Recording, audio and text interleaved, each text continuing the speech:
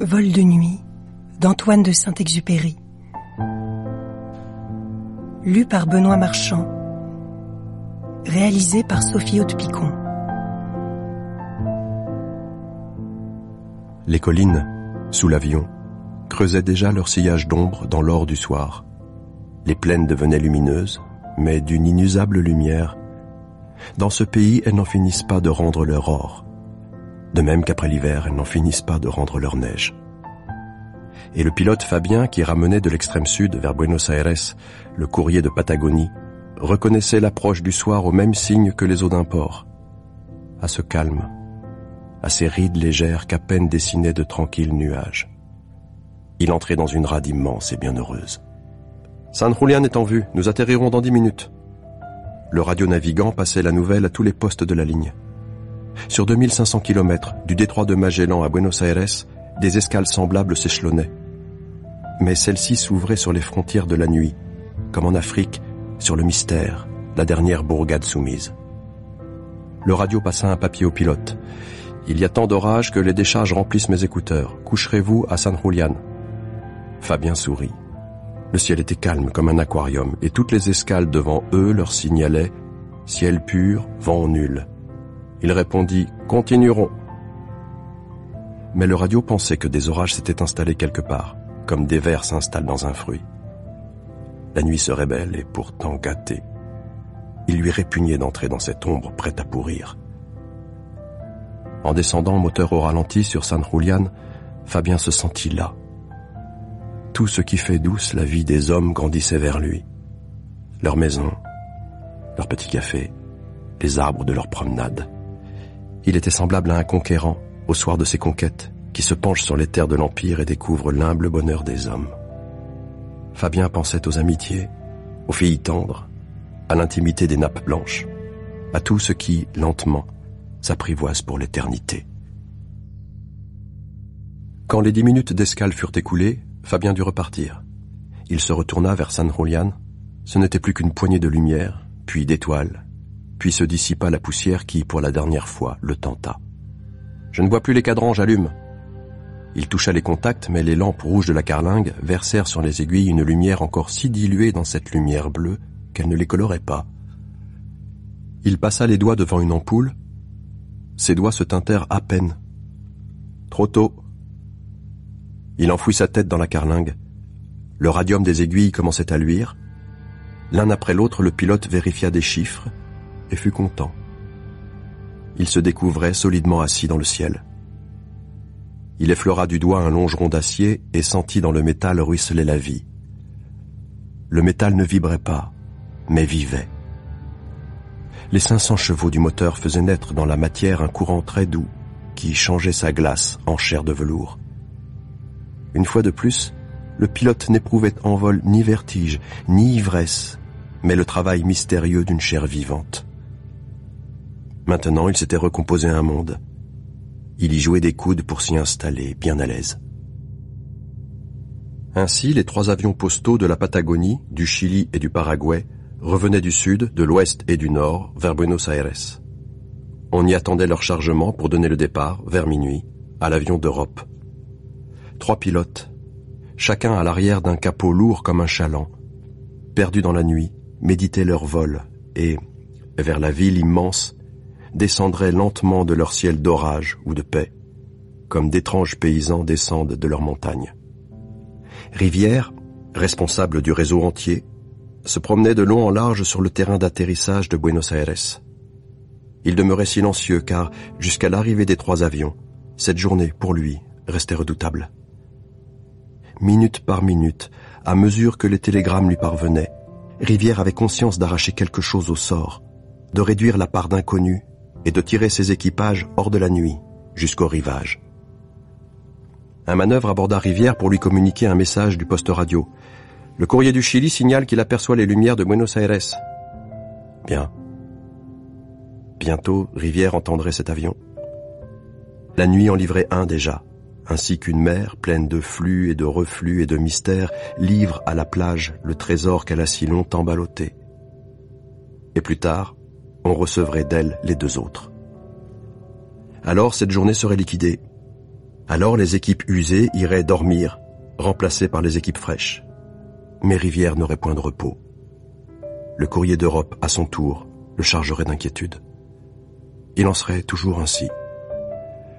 Toujours. Pour la première fois, ce vieux lutteur s'étonnait de se sentir là. Le radio-navigant du courrier de Patagonie, une heure plus tard, se sentit soulevé doucement comme par une épaule. Il regarda autour de lui. Des nuages lourds éteignaient les étoiles. Il se pencha vers le sol. Il cherchait les lumières des villages, pareilles à celles de vers luisants cachés dans l'herbe, mais rien ne brillait dans cette herbe noire.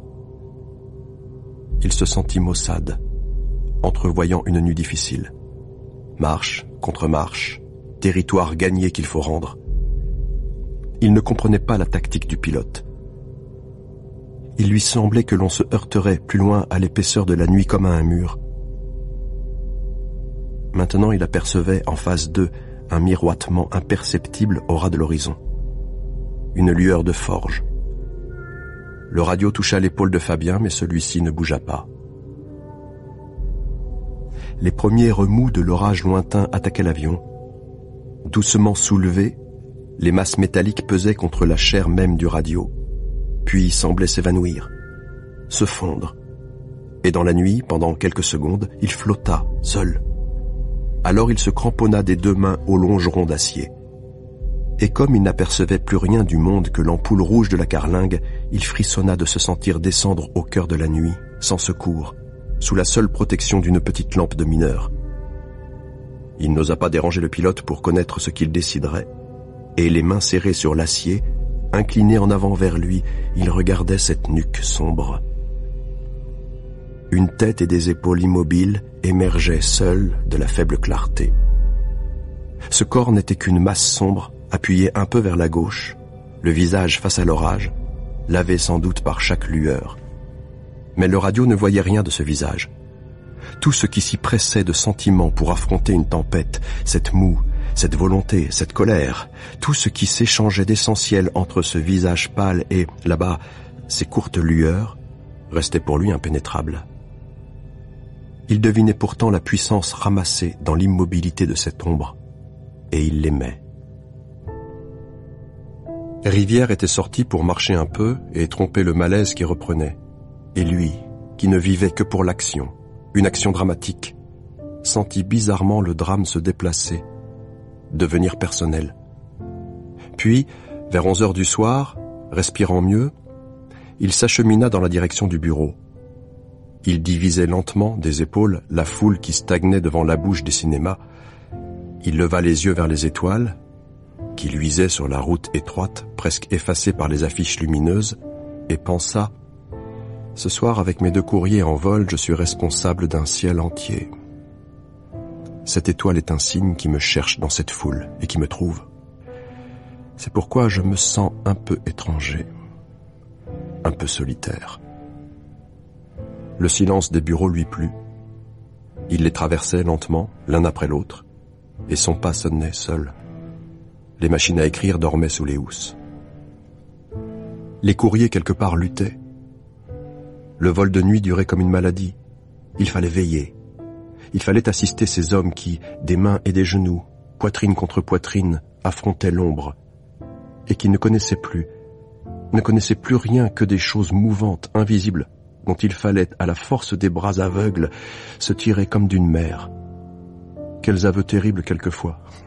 J'ai éclairé mes mains pour les voir. Velours des mains révélées seules dans ce bain rouge de photographe. Ce qu'il reste du monde et qu'il faut sauver. Rivière poussa la porte du bureau de l'exploitation. Une seule lampe allumée créait, dans un angle, une plage claire. Le cliquetis d'une seule machine à écrire donnait un sens à ce silence, sans le combler. La sonnerie du téléphone tremblait parfois.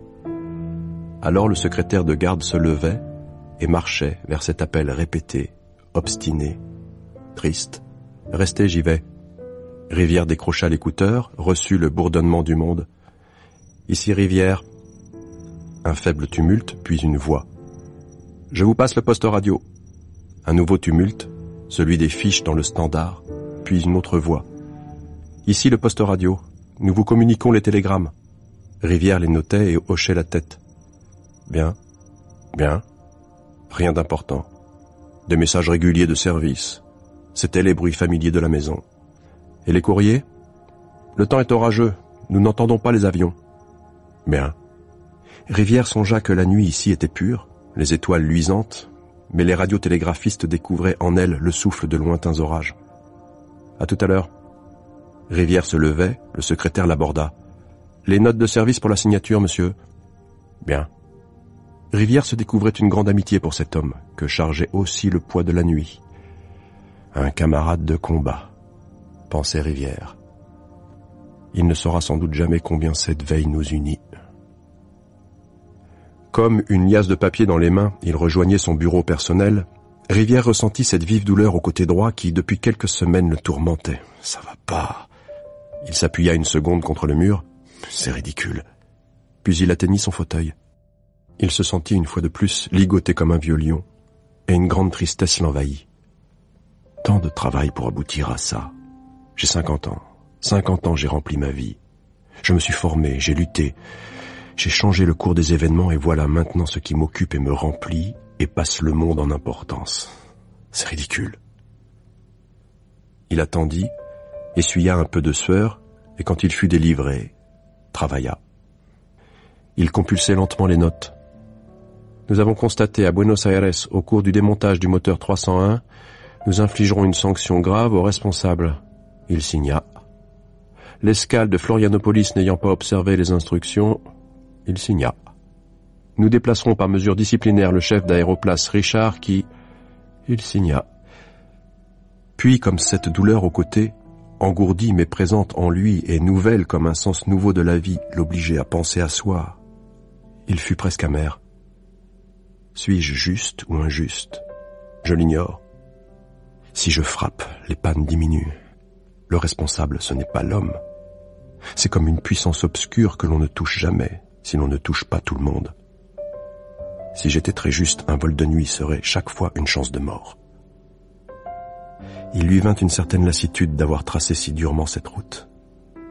Il pensa que la pitié est bonne. Il feuilletait toujours les notes, absorbé dans son rêve.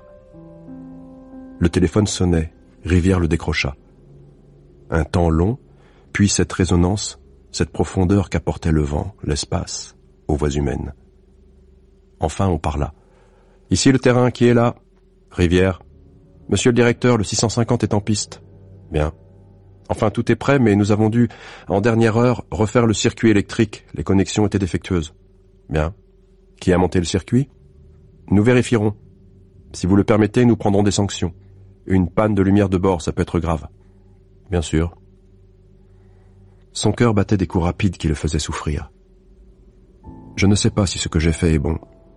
Je ne sais pas l'exacte valeur de la vie humaine, ni de la justice, ni du chagrin. Je ne sais pas exactement ce que vaut la joie d'un homme, ni une main qui tremble, ni la pitié, ni la douceur. Il rêva. La vie se contredit tant.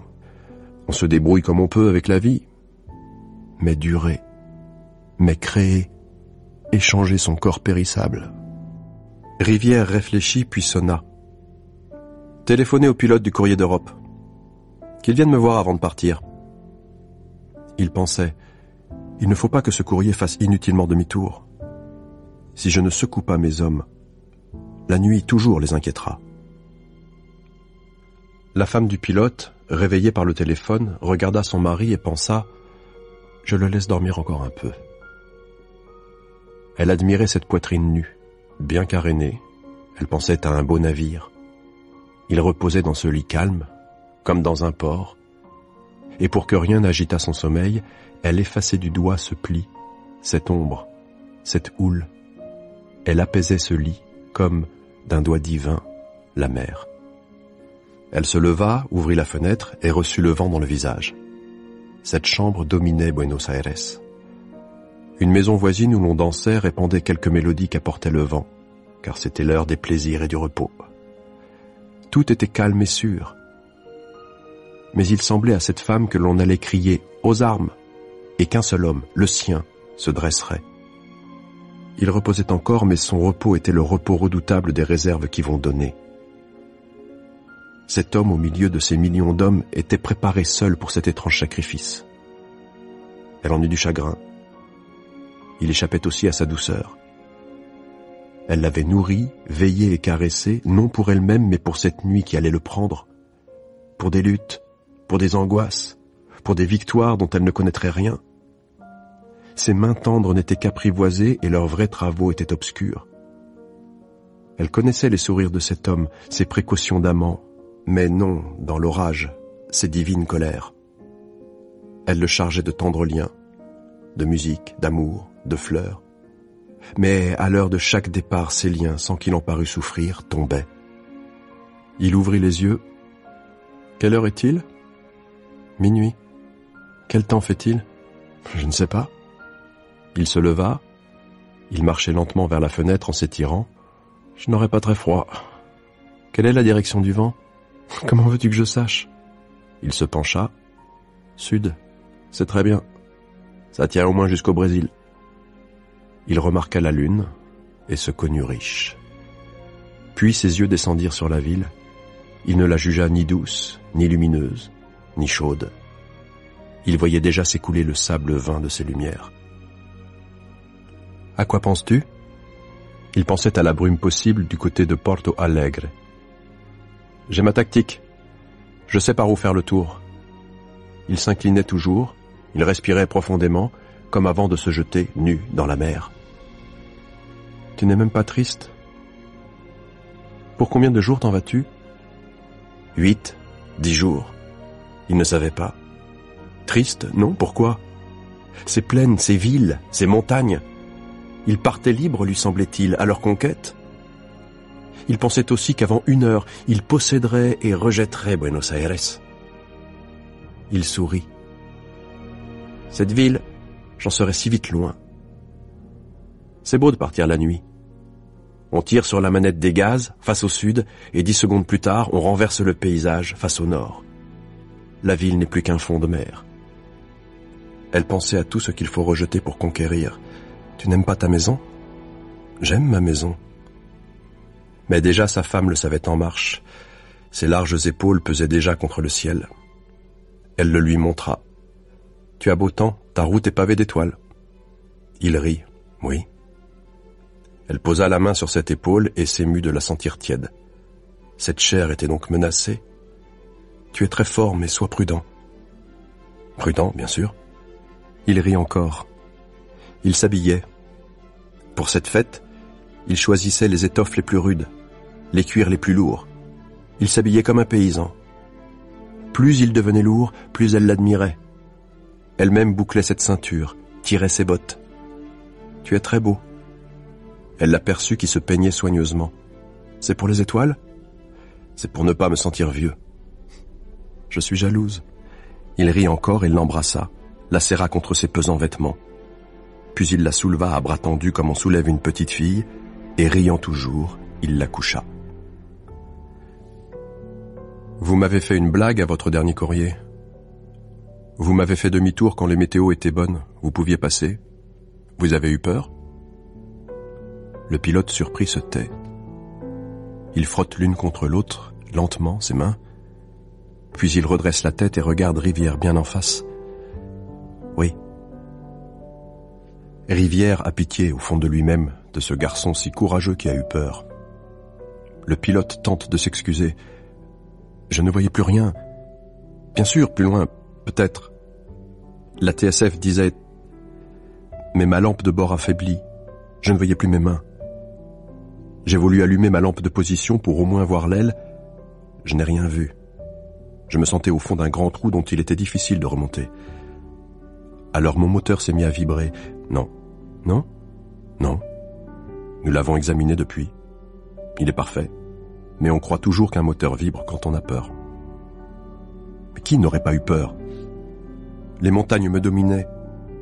Quand j'ai voulu prendre de l'altitude, j'ai rencontré de forts remous. Vous savez, quand on ne voit rien, les remous. Au lieu de monter, j'ai perdu 100 mètres. Je ne voyais même plus le gyroscope, même plus les manomètres. Tout ça dans l'ombre, comme une maladie. J'ai été bien content de revoir une ville éclairée. Vous avez trop d'imagination. Allez. Et le pilote sort. Rivière s'enfonce dans son fauteuil et passe la main dans ses cheveux gris. C'est le plus courageux de mes hommes. Ce qu'il a réussi ce soir-là est très beau. Mais je le sauve de la peur. Puis, comme une tentation de faiblesse lui revenait, pour se faire aimer, il suffit de plaindre, je ne plains guère ou je le cache. J'aimerais bien pourtant m'entourer de l'amitié et de la douceur humaine. Un médecin, dans son métier, les rencontre.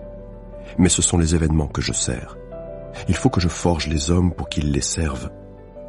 Comme je la sens bien, cette loi obscure, le soir, dans mon bureau, devant les feuilles de route. Si je me laisse aller, si je laisse les événements bien réglés suivre leur cours, alors, mystérieux, naissent les incidents comme si ma volonté seule empêchait l'avion de se rompre en vol ou la tempête de retarder le courrier en marche. Je suis surpris parfois de mon pouvoir. Dans cette lutte, une silencieuse fraternité liait au fond d'eux-mêmes Rivière et ses pilotes. C'étaient des hommes du même bord qui éprouvaient le même désir de vaincre. Mais Rivière se souvient des autres batailles qu'il a livrées pour la conquête de la nuit. On redoutait, dans les cercles officiels, comme une brousse inexplorée, ce territoire sombre. Lancer un équipage, à 200 km à l'heure, vers les orages et les brumes et les obstacles matériels que la nuit contient sans les montrer, leur paraissait une aventure tolérable pour l'aviation militaire. On quitte un terrain par nuit claire, on bombarde, on revient au même terrain. Mais les services réguliers échoueraient la nuit. C'est pour nous, avait répliqué Rivière, une question de vie ou de mort. Puisque nous perdons, chaque nuit, l'avance gagnée pendant le jour sur les chemins de fer et les navires.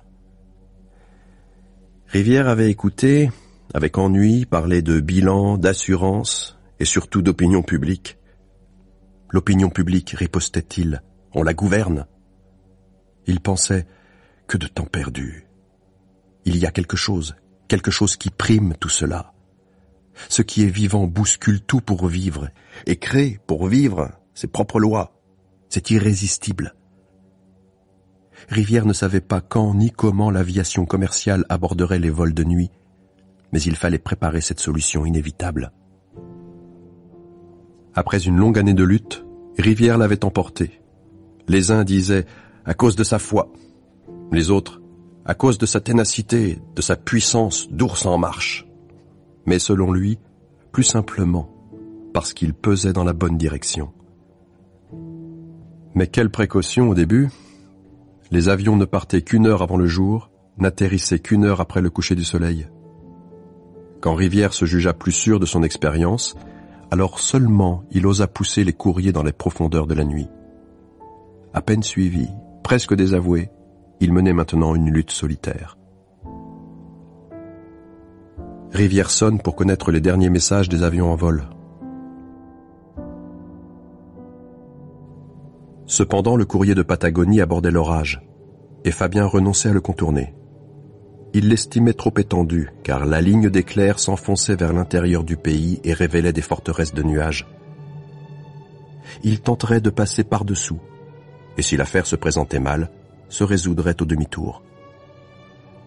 Il lut son altitude, 1700 mètres. Il pesa des paumes sur les commandes pour commencer à la réduire. Le moteur vibra très fort et l'avion trembla. Fabien corrigea, au jugé, l'angle de descente, puis sur la carte vérifia la hauteur des collines. 500 mètres. Pour se conserver une marge, il naviguerait vers 700. Il sacrifiait son altitude comme on joue une fortune. Un remous fit plonger l'avion qui trembla plus fort. Fabien se sentit menacé par d'invisibles éboulements. Il rêva qu'il faisait demi-tour et retrouvait cent mille étoiles, mais il ne vira pas d'un degré. Fabien calculait ses chances. Il s'agissait d'un orage local probablement, puisque Trelew, la prochaine escale, signalait un ciel trois quarts couvert. Il s'agissait de vivre vingt minutes à peine dans ce béton noir, et pourtant le pilote s'inquiétait. Penché à gauche contre la masse du vent, il essayait d'interpréter les lueurs confuses qui, par les nuits les plus épaisses, circulent encore. Mais ce n'était même plus des lueurs, à peine des changements de densité dans l'épaisseur des ombres, ou une fatigue des yeux. Il déplia un papier du radio. Où sommes-nous? Fabien eut donné cher pour le savoir. Il répondit Je ne sais pas. Nous traversons à la boussole un orage. Il se pencha encore. Il était gêné par la flamme de l'échappement, accroché au moteur comme un bouquet de feu, si pâle que le clair de lune l'eût éteinte, mais qui, dans ce néant, absorbait le monde visible. Il la regarda. Elle était tressée, drue par le vent comme la flamme d'une torche. Chaque trente secondes, pour vérifier le gyroscope et le compas, Fabien plongeait sa tête dans la carlingue. Il n'osait plus allumer les faibles lampes rouges qui l'éblouissaient pour longtemps, mais tous les instruments aux chiffres de radium versaient une clarté pâle d'astre. Là, au milieu d'aiguilles et de chiffres, le pilote éprouvait une sécurité trompeuse, celle de la cabine du navire sur laquelle passe le flot. La nuit et tout ce qu'elle portait de rocs, d'épaves, de collines, coulait aussi contre l'avion avec la même étonnante fatalité. Où sommes-nous lui répétait l'opérateur. Fabien émergeait de nouveau et reprenait appuyé à gauche sa veille terrible. Il ne savait plus combien de temps, combien d'efforts le délivrerait de ces liens sombres. Il doutait presque d'en être jamais délivré car il jouait sa vie sur ce petit papier, sale et chiffonné, qu'il avait déplié et lu mille fois pour bien nourrir son espérance. Tréléou, Ciel trois quarts couvert, vent ouest faible. Si Tréléou était trois quarts couvert, on apercevrait ses lumières dans la déchirure des nuages. À moins que... La pâle clarté promise plus loin l'engageait à poursuivre. Pourtant, comme il doutait, il griffonna pour le radio. J'ignore si je pourrais passer. Sachez-moi s'il fait toujours beau en arrière. La réponse le consterna. Comme Modoro signale, Retour ici impossible. Tempête. Il commençait à deviner l'offensive insolite qui, de la cordillère des Andes, se rabattait vers la mer. Avant qu'il eût pu les atteindre, le cyclone raflerait les villes. Demandez le temps de San Antonio. San Antonio a répondu, vent ouest se lève et tempête à l'ouest. Ciel quatre quarts couvert. San Antonio entend très mal à cause des parasites. J'entends mal aussi. Je crois être obligé de remonter bientôt l'antenne à cause des décharges. Ferez-vous demi-tour? Quels sont vos projets Foutez-moi la paix. Demandez le temps de Bahia Blanca. Bahia Blanca a répondu Prévoyons avant 20 minutes violent orage ouest sur Bahia Blanca. Demandez le temps de Trelew. Trelew a répondu Ouragan 30 mètres secondes ouest et rafale de pluie. Communiqué à Buenos Aires. Sommes bouchés de tous les côtés. Tempête se développe sur 1000 km. Ne voyons plus rien. Que devons-nous faire?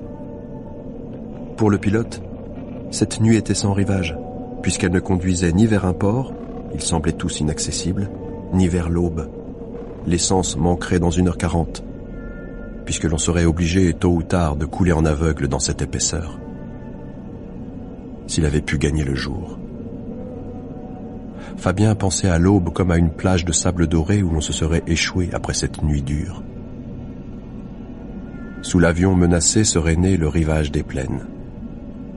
La terre tranquille aurait porté ses fermes endormies, et ses troupeaux, et ses collines.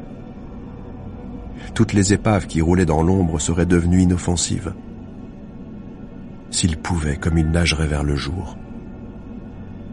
Il pensa qu'il était cerné. Tout se résoudrait, bien ou mal, dans cette épaisseur. C'est vrai? Il a cru quelquefois, quand montait le jour, entrer en convalescence. Mais à quoi bon fixer les yeux sur l'Est, où vivait le soleil?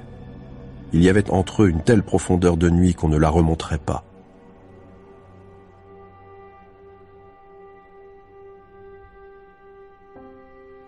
Le courrier d'Assuncion marche bien. Nous l'aurons vers deux heures. Nous prévoyons par contre un retard important du courrier de Patagonie qui paraît en difficulté. Bien, monsieur Rivière. Il est possible que nous ne l'attendions pas pour faire décoller l'avion d'Europe. Dès l'arrivée d'Assuncion, vous nous demanderez des instructions. Tenez-vous prêts. Rivière relisait maintenant les télégrammes de protection des escales nord. Ils ouvraient au courrier d'Europe une route de lune. Ciel pur, pleine lune, vent nul. Si Rivière ordonnait le départ, l'équipage du courrier d'Europe entrerait dans un monde stable qui, pour toute la nuit, luisait doucement. Un monde où rien ne menaçait l'équilibre des masses d'ombre et de lumière, où ne s'infiltrait même pas la caresse de ces vents purs qui, s'ils fraîchissent, peuvent gâter en quelques heures un ciel entier. Mais Rivière hésitait en face de ce rayonnement, comme un prospecteur en face de champs d'or interdits. Les événements dans le sud donnaient tort à Rivière, seul défenseur des vols de nuit. Ses adversaires tireraient d'un désastre en Patagonie une position morale si forte que peut-être la foi de Rivière resterait désormais impuissante, car la foi de Rivière n'était pas ébranlée. Une fissure dans son œuvre avait permis le drame, mais le drame montrait la fissure, il ne prouvait rien d'autre. Rivière sonna. Bahia Blanca ne nous communique toujours rien par TSF Non. Appelez-moi l'escale au téléphone. Cinq minutes plus tard, il s'informait. Pourquoi ne nous passez-vous rien? Nous n'entendons pas le courrier. Il se tait Nous ne savons pas, trop d'orage. Même s'il manipulait, nous n'entendrions pas. Treleu entend-il? Nous n'entendons pas Treleu. Téléphonez. Nous avons essayé, la ligne est coupée. Quel temps chez vous? Menaçant, des éclairs à l'ouest et au sud. Très lourd. Du vent? Faible encore, mais pour dix minutes. Les éclairs se rapprochent vite. Un silence. Bahia Blanca, vous écoutez? Bon, rappelez-nous dans dix minutes. Et Rivière feuilleta les télégrammes des escales sud. Toutes signalaient le même silence de l'avion. Pourtant, Rivière, incliné sur la carte, conservait encore l'espoir de découvrir un refuge de ciel pur, car il avait demandé par télégramme l'état du ciel à la police de plus de 30 villes de province, et les réponses commençaient à lui parvenir. Sur 2000 kilomètres, les postes radio avaient ordre, si l'un d'eux accrochait un appel de l'avion, d'avertir dans les 30 secondes Buenos Aires qui lui communiquerait, pour la faire transmettre à Fabien, la position du refuge. Les secrétaires, convoqués pour une heure du matin, avaient regagné leur bureau. Ils apprenaient là, mystérieusement, que, peut-être, on suspendrait les vols de nuit et que le courrier d'Europe lui-même ne décollerait plus qu'au jour. Ils parlaient à voix basse de Fabien, du cyclone, de Rivière surtout. Ils le devinaient là, tout proche, écrasé peu à peu par ce démenti naturel. Mais toutes les voix s'éteignirent. Rivière, à sa porte, venait d'apparaître, serré dans son manteau, le chapeau toujours sur les yeux, éternel voyageur. Il fit un pas tranquille vers le chef de bureau, il est une heure dix. Les papiers du courrier d'Europe sont-ils en règle? J'ai cru... Vous n'avez pas à croire, mais à exécuter.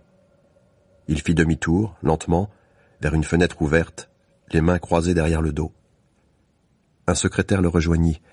Monsieur le directeur, nous obtiendrons peu de réponses. On nous signale que dans l'intérieur, beaucoup de lignes télégraphiques sont déjà détruites. Bien. Rivière, immobile, regardait la nuit. Un avion quelque part était en péril dans ses profondeurs. On s'agitait, impuissant, sur le bord. La femme de Fabien téléphona. La nuit de chaque retour, elle calculait la marche du courrier de Patagonie. Il décolle de Trelew, puis se rendormait. Un peu plus tard, il doit approcher de San Antonio. Il doit voir ses lumières. Alors elle se levait, écartait les rideaux et jugeait le ciel. Tous ces nuages le gênent, Parfois la lune se promenait comme un berger. Alors la jeune femme se recouchait, rassurée par cette lune et ses étoiles, ces milliers de présences autour de son mari. Vers une heure, elle le sentait proche. Il ne doit plus être bien loin, il doit voir Buenos Aires. Alors elle se levait encore et lui préparait un repas, un café bien chaud. Il fait si froid là-haut. Elle le recevait toujours comme s'il descendait d'un sommet de neige. Tu n'as pas froid? Mais non, réchauffe-toi quand même. Vers une heure et quart, tout était prêt. Alors elle téléphonait. Cette nuit, comme les autres, elle s'informa. Fabien a-t-il atterri? Le secrétaire qui l'écoutait se troubla un peu. Qui parle? Simone Fabien. Ah, une minute. Le secrétaire, n'osant rien dire, passa l'écouteur au chef de bureau. Qui est là? Simone Fabien. Ah, que désirez-vous, madame? Mon mari a-t-il atterri?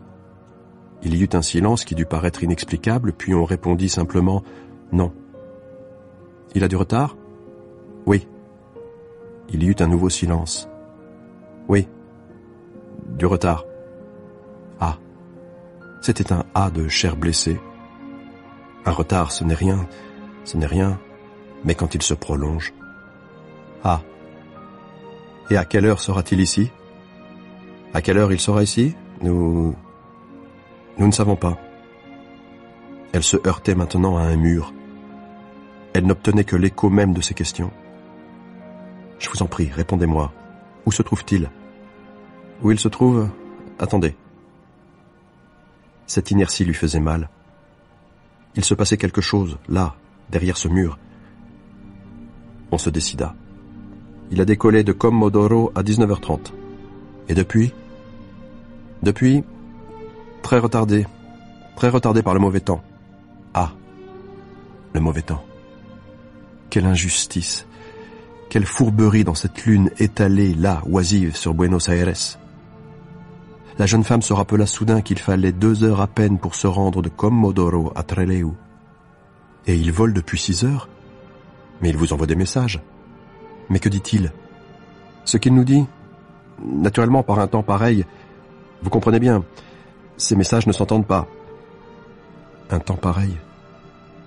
Alors c'est convenu, madame. Nous vous téléphonons dès que nous savons quelque chose. Ah, vous ne savez rien. Au revoir, madame. Non, non, je veux parler au directeur. Monsieur le directeur est très occupé, madame. Il est en conférence. Ah, ça m'est égal, ça m'est bien égal, je veux lui parler.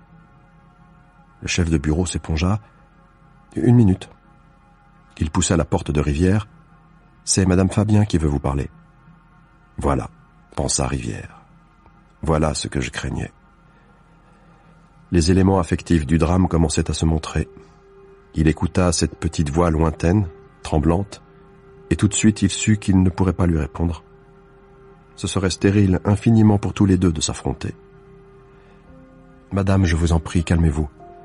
Il est si fréquent dans notre métier d'attendre longtemps des nouvelles. Elle n'écoutait plus. Elle était retombée presque à ses pieds, lui semblait-il, ayant usé ses faibles poings contre le mur. Ce papier plié en quatre sauverait peut-être Fabien. Il le dépliait, les dents serrées.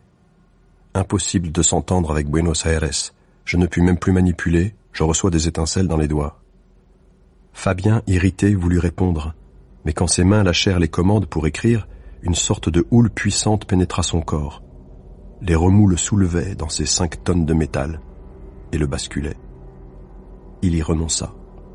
Ses mains de nouveau se fermèrent sur la houle et la réduisirent. Fabien respira fortement. Si le radio remontait l'antenne par peur de l'orage, Fabien lui casserait la figure à l'arrivée. Il fallait à tout prix entrer en contact avec Buenos Aires, comme si à plus de 1500 kilomètres on pouvait leur lancer une corde dans cet abîme. À défaut d'une tremblante lumière, d'une lampe d'auberge presque inutile, mais qui eût prouvé la Terre comme un phare, il lui fallait au moins une voix, une seule, venue d'un monde qui déjà n'existait plus. Le pilote éleva et balança le poing dans sa lumière rouge pour faire comprendre à l'autre, en arrière, cette tragique vérité. Mais l'autre, penché sur l'espace dévasté aux villes ensevelies, aux lumières mortes, ne la connut pas. Fabien aurait suivi tous les conseils pourvu qu'ils lui fussent criés. Il pensait, et si l'on me dit de tourner en rond, je tourne en rond, et si l'on me dit de marcher plein sud, elles existaient quelque part, ces terres en paix, douces sous leurs grandes ombres de lune. Ses camarades là-bas les connaissaient, instruits comme des savants, penchés sur des cartes, tout puissants, à l'abri de lampes belles comme des fleurs. Que savait-il, lui, hors des remous et de la nuit qui poussait contre lui, à la vitesse d'un éboulement, son torrent noir?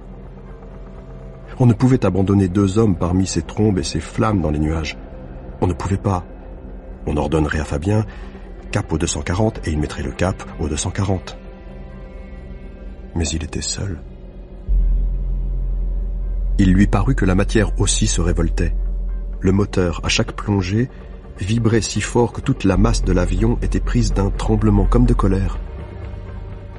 Fabien usait ses forces à dominer l'avion, la tête enfoncée dans la carlingue, face à l'horizon gyroscopique, car au dehors il ne distinguait plus la masse du ciel de celle de la terre, perdue dans une ombre où tout se mêlait, une ombre d'origine des mondes.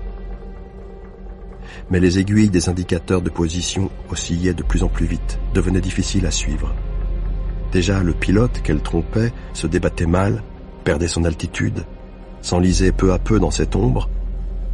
Il lut sa hauteur, 500 mètres. C'était le niveau des collines. Il les sentit rouler vers lui leurs vagues vertigineuses. Il comprenait aussi que toutes les masses du sol, dont la moindre l'eût écrasé, étaient comme arrachées de leur support, déboulonnées, et commençaient à tourner, ivres, autour de lui, et commençait autour de lui une sorte de danse profonde et qui le serrait de plus en plus. Il en prit son parti. Au risque d'emboutir, il atterrirait n'importe où. Et pour éviter au moins les collines, il lâcha son unique fusée éclairante. La fusée s'enflamma, tournoya, illumina une plaine et s'y éteignit. C'était la mer. Il pensa très vite, perdu. 40 degrés de correction, j'ai dérivé quand même. C'est un cyclone. Où est la Terre? Il virait plein ouest. Il pensa, sans fusée maintenant, je me tue. Cela devait arriver un jour, et son camarade, là, derrière, il a remonté l'antenne, sûrement. Mais le pilote ne lui en voulait plus. Si lui-même ouvrait simplement les mains, leur vie s'en écoulerait aussitôt comme une poussière vaine. Il tenait dans ses mains le cœur battant de son camarade et le sien.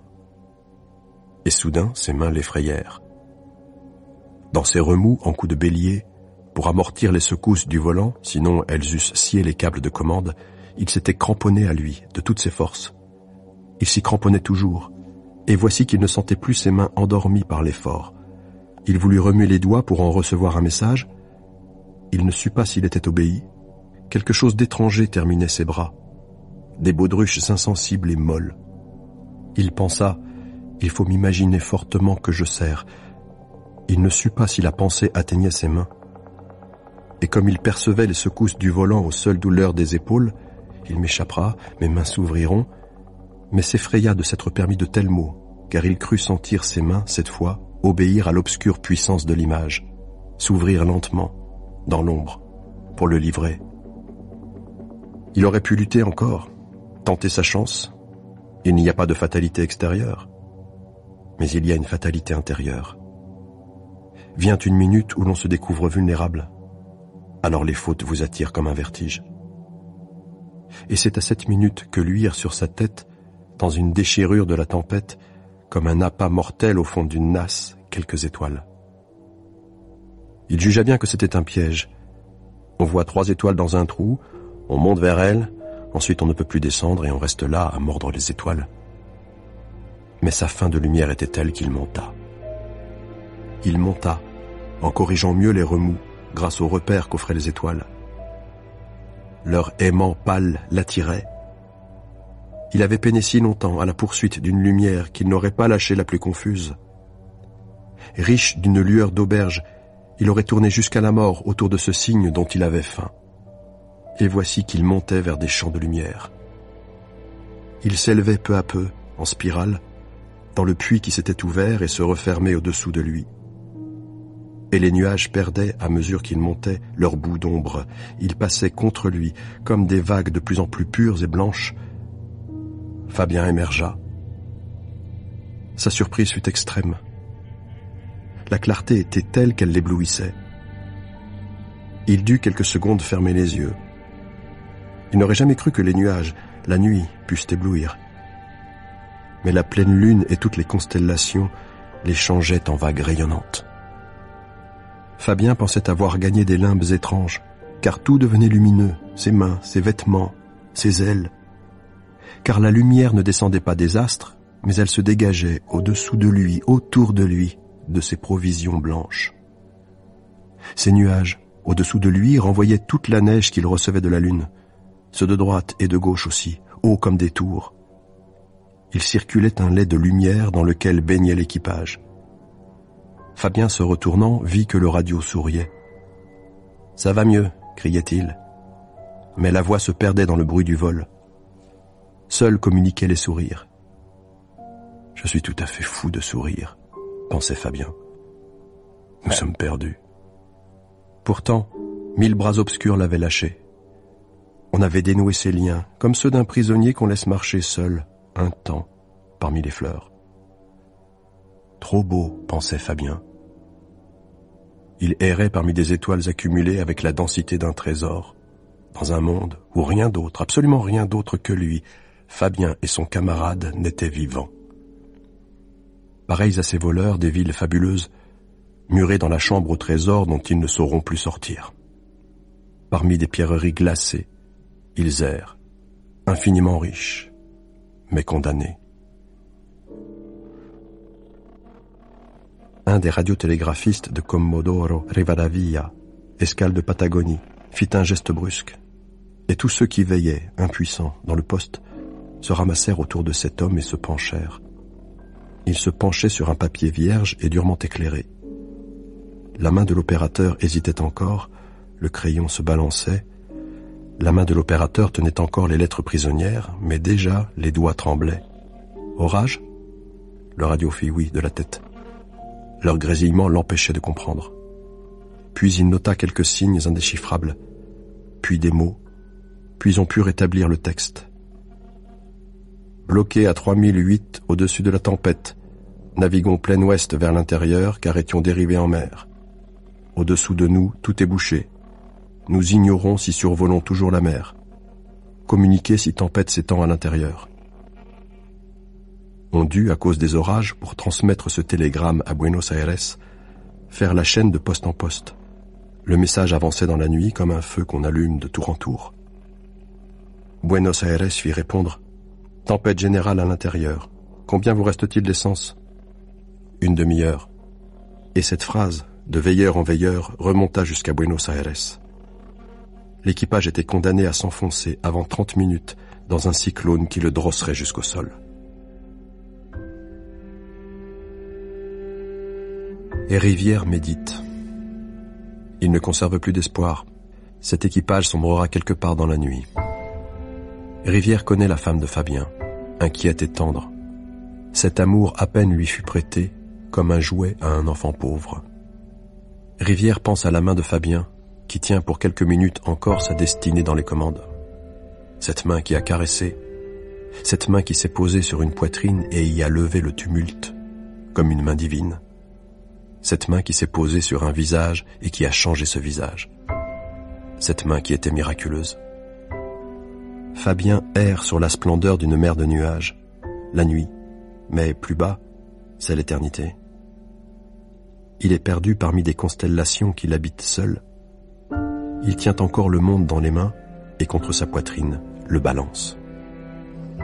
Il serre dans son volant le poids de la richesse humaine et promène désespéré d'une étoile à l'autre l'inutile trésor qu'il faudra bien rendre. Rivière pense qu'un poste radio l'écoute encore. Seul relie encore Fabien au monde une onde musicale, une modulation mineure. Pas une plainte, pas un cri, mais le son le plus pur qu'ait jamais formé le désespoir. La femme de Fabien se fit annoncer. Rivière la reçut. Je vous dérange? Madame, lui dit Rivière. Vous ne me dérangez pas. Malheureusement, madame, vous et moi ne pouvons mieux faire que d'attendre. Elle eut un faible haussement d'épaule dont Rivière comprit le sens. Pour cette femme, la mort de Fabien commencerait demain à peine, dans chaque acte désormais vain, dans chaque objet. Fabien quitterait lentement sa maison. Rivière taisait une pitié profonde. Madame, la jeune femme se retirait, avec un sourire presque humble, ignorant sa propre puissance. Rivière poussa la porte qui donnait sur la salle des secrétaires, et la disparition de Fabien le frappa, évidente, à des signes que Madame Fabien n'avait pas su voir. L'affiche du RB 903, l'avion de Fabien, figurait déjà au tableau mural dans la colonne du matériel indisponible. Les secrétaires qui préparaient les papiers du courrier d'Europe, sachant qu'ils seraient retardés, travaillaient mal. Du terrain, on demandait par téléphone des instructions pour les équipes qui, maintenant, veillaient sans but. Les fonctions de vie étaient ralenties. La mort, la voilà, pensa Rivière. Son œuvre était semblable à un voilier en panne sans vent, sur la mer. Commodoro Rivadavia n'entend plus rien. Mais à mille kilomètres de là, vingt minutes plus tard, Bahia Blanca capte un second message. Descendons, entrons dans les nuages.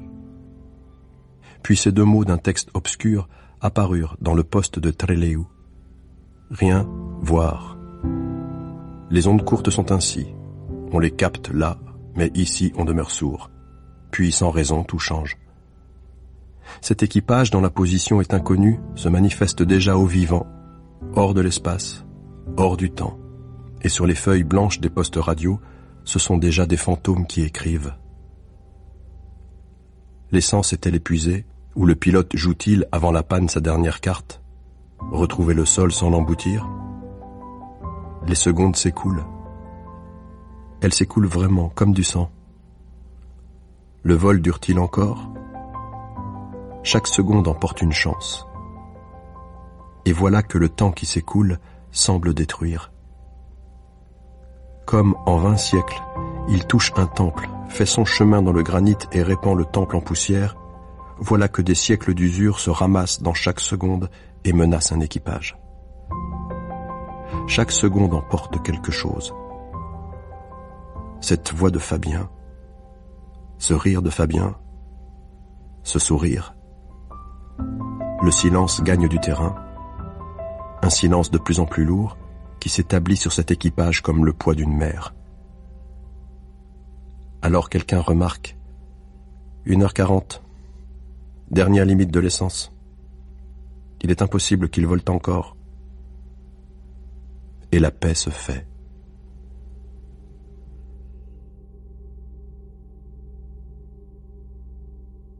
Rivière, dans son bureau, éprouve cette détente que seuls permettent les grands désastres, quand la fatalité délivre l'homme.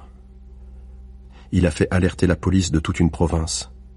Il ne peut plus rien, il faut attendre. Télégramme pour les escales nord. Prévoyons retard important du courrier de Patagonie. Pour ne pas retarder trop courrier d'Europe, bloquerons courrier de Patagonie avec le courrier d'Europe suivant. Le courrier d'Assuncion signala qu'il allait atterrir. Rivière, même aux pires heures, avait suivi, de télégramme en télégramme, sa marche heureuse. C'était pour lui au milieu de ce désarroi, la revanche de sa foi, la preuve. Ce vol heureux annonçait, par ces télégrammes, mille autres vols aussi heureux. On n'a pas de cyclone toutes les nuits. Rivière pensait aussi, une fois la route tracée, on ne peut pas ne plus poursuivre. Descendant d'escale en escale du Paraguay, comme d'un adorable jardin riche de fleurs, de maisons basses et d'eau lente, l'avion glissait en marge d'un cyclone qui ne lui brouillait pas une étoile. Neuf passagers, roulés dans leur couverture de voyage, s'appuyaient du front à leurs fenêtres comme à une vitrine pleine de bijoux, car les petites villes d'Argentine égrenaient déjà, dans la nuit, tout leur or, sous l'or plus pâle des villes d'étoiles. Le pilote, à l'avant, soutenait de ses mains sa précieuse charge de vie humaine, les yeux grands ouverts et pleins de lune, comme un chevrier. Buenos Aires, déjà, emplissait l'horizon de son feu rose, et bientôt luirait de toutes ses pierres, ainsi qu'un trésor fabuleux. Le radio, de ses doigts, lâchait les derniers télégrammes, comme les notes finales d'une sonate qu'il eût tapotée, joyeux, dans le ciel, et dont Rivière comprenait le chant. Puis il remonta l'antenne, puis il s'étira un peu, bâilla et sourit. On arrivait. Le pilote, ayant atterri, retrouva le pilote du courrier d'Europe, adossé contre son avion, les mains dans les poches. C'est toi qui continues Oui. La Patagonie est là On ne l'attend pas, disparu. Il fait beau Il fait très beau. Fabien a disparu Ils en parlèrent peu. Une grande fraternité les dispensait des phrases. On transbordait dans l'avion d'Europe les sacs de transit d'Assuncion, et le pilote, toujours immobile, la tête renversée, la nuque contre la carlingue, regardait les étoiles. Il sentait naître en lui un pouvoir immense, et un plaisir puissant lui vint. Attention la nuit, hein Il n'entendit pas le conseil de son camarade. Les mains dans les poches, la tête renversée face à des nuages, des montagnes, des fleuves et des mers, voici qu'il commençait un rire silencieux. Un faible rire, mais qui passait en lui comme une brise dans un arbre, et le faisait tout entier tressaillir. Un faible rire, mais bien plus fort que ces nuages, ces montagnes, ces fleuves et ces mers. Mais qu'est-ce qui te prend? Cet imbécile de rivière qui m'a... qui s'imagine que j'ai peur.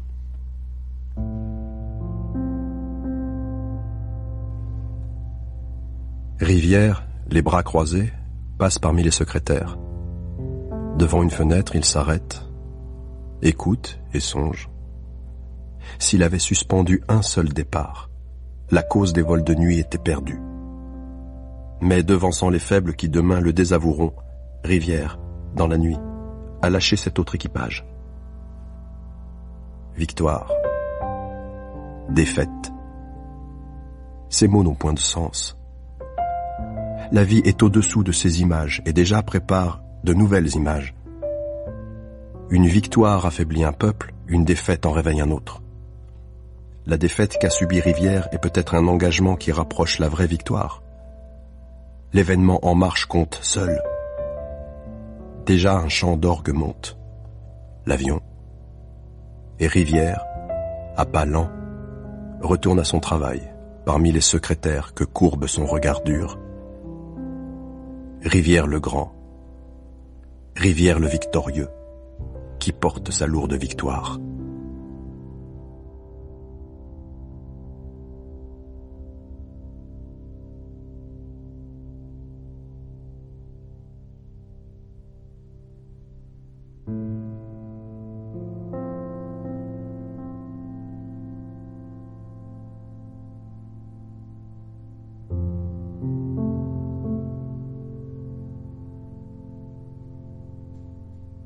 Vol de nuit d'Antoine de Saint-Exupéry. Extrait choisi par Judith Siboni. Lu par Benoît Marchand. Conseillère littéraire, Emmanuel Chevrière. Prise de son, montage, mixage, Éric Villenfin, Manuel Couturier. Assistante à la réalisation, Émilie Joquiel. Réalisation, Sophie Haute-Picon. Vol de nuit d'Antoine de Saint-Exupéry est publié aux éditions Gallimard.